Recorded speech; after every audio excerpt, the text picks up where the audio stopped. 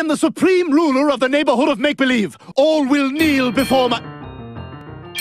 Ugh, what kind of freaking king lives next to the train tracks? What is this, Mexico?